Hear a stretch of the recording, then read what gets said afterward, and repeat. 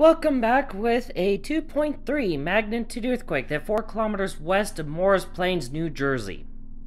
This is a situation here. I was expecting to cover severe weather in this area, not an earthquake. Anyways, happened at 4:14, 4:15 p.m. Central Daylight Time, ended up to 5 kilometers or 3.1 miles.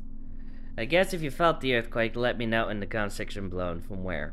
Got parts of interstates 287, 80, 280, and 78. Got highways 94, 15, 10, 24, 23, 22, 206, 202, and 35.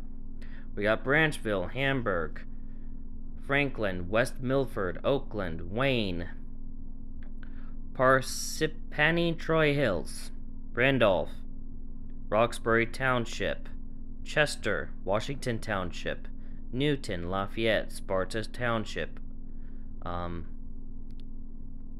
Bedminster, Great, uh, Great Swamp National Wildlife Refuge, Summit, Union, Livingston, Morriston, Morristown, Plainfield, Warren, Piscataway, Edson, Woodbridge Township, Perth Amboy, New Brunswick, Edison, Hillsborough Township, Bridgewater Township, and Branchburg. So, Let's just zoom into the epicenter. Rockaway, Dover. There's Morris Plains. Mendham Township, Hard Harding Township.